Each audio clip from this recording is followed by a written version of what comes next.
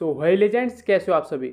तो यार आपको पता चल ही गया होगा कि ई वालों ने हमारी जो सॉफ्ट लॉन्च की डेट है, वो एक बार फिर से डिले कर दिया है। एंड उन्होंने एक बार फिर से साबित कर दिया कि वो किसी गेम को कितना लेट तक अटका सकते हैं। क्योंकि परसों सुबह पाँच बजे जब गेम ड्रॉप होने वाली थी, उसी टाइम रिस्पोन एक ट्वीट करती है, जिसमें वो बताते हैं कि अभी जो करंट सिचुएशन है मतलब रशिया एंड यूक्रेन के बीच जो वॉर चल रही है, उस, उन कारणों की वजह से सॉफ्ट लॉन्च की जो डेट है, वो थोड़ा आगे बढ़ाकर सात मार्च कर दी गई है। लेकिन आप में से काफ़ी लोग ये सोच रहे होंगे कि यार लड़ाई तो रशिया एंड यूक्रेन की चल रही है। तो इसकी वजह से हमारी गेम क्यों डिले हो रही है? तो यार मैं आपको बता दूँ कि चाहे वो दो कंट्रीज़ के बीच में चल रही हो, लेकिन उसका इम्पैक्ट पूरी दुनिया पर पड़ता है। एंड ना सिर्फ़ अपेक्स एजेंट मोबाइल बल्कि दूसरी अपकमिंग गेम जैसे बैटल मोबाइल ने भी अपनी बेटा लॉन्च डेट को आगे बढ़ा दिया है। तो यहाँ में रिस्पॉन्ड के इस डिसीज़न की रिस्पेक्ट करनी चाहिए एंड ई वालों को थोड़ा और सपोर्ट दिखाना चाहिए।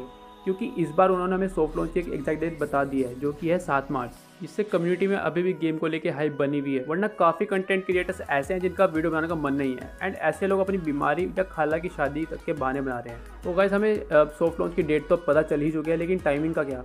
मतलब सॉफ्ट लॉन्च इंडिया में कितने बजे और किस डेट को लॉन्च होने वाला है? तो मैं आपको पहले ये क्लियर कर देता हूँ कि जो रिस्पॉन ने जो डेट बताई है मतलब सात मार्च वो अमेरिकन टाइम जोन के हिसाब से बताइए। मतलब जो गेम है वो अमेरिकन टाइम जोन वाली कंट्रीज़ में सात मार्च को सुबह चार या चार से सात के बीच में ड्रॉप हो सकती है। एंड अगर हम इसे इंडियन स्टैंडर्ड टाइम के अकॉर्डिंग कैलकुलेट करें तो गेम हमें इंडिया में सात मार्च की रात या फिर आठ मार्च की सुबह पाँच से छः के बीच में देखने को मिल सकती है। Indian standard time American time zone से बारह से तेरह घंटे आगे चलता है। मतलब जब इंडिया में आठ मार्च होगी, तब अमेरिका में सात मार्च चल रही होगी। तो इस वजह से आप सात मार्च की जो डेट है, उससे कंफ्यूज मत हो जाना, क्योंकि इंडिया में जो गेम है, वो आठ मार्च तक ही आएगी। तो मैं उम्मीद करता हूँ गेम के सॉफ्ट लॉन्च को लेकर जो आपके मन में थोड़ी बहुत कन्फ्यूज़न होगी, वो दूर हुई होगी। एंड अब हम बात कर लेते हैं सॉफ्ट लॉन्च में मिलने वाले rank reward and daily log in rewards की। And daily log in rewards free to players के लिए काफ़ी अच्छा होने वाला है, जिसमें पहले दिन तो आपको कुछ कॉइन्स देखने को मिलेंगे, लेकिन दूसरे दिन आपको रेवेनेंट करेक्टर मिलने वाला है। एंड इसके बाद तीन से सात दिन के बीच लॉग इन करने पर आपको ज़्यादा कुछ नहीं, बस खाली एक्सपी कार्ड्स एंड कुछ कॉइन्स भी देखने को मिलेंगे।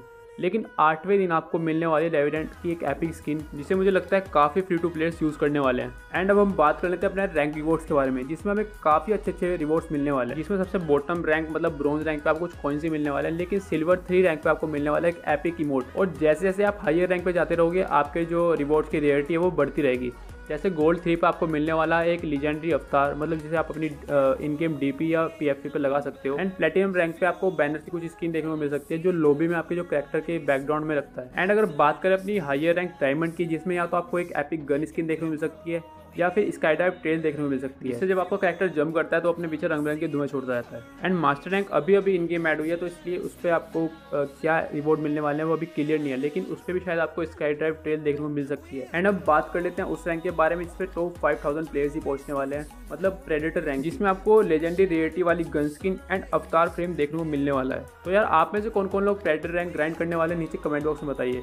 सो यार, कैसी लगी आपको आज की वीडियो प्लीज़ वीडियो को लाइक एंड चैनल को सब्सक्राइब करके कमेंट बॉक्स में बताइए। प्लीज़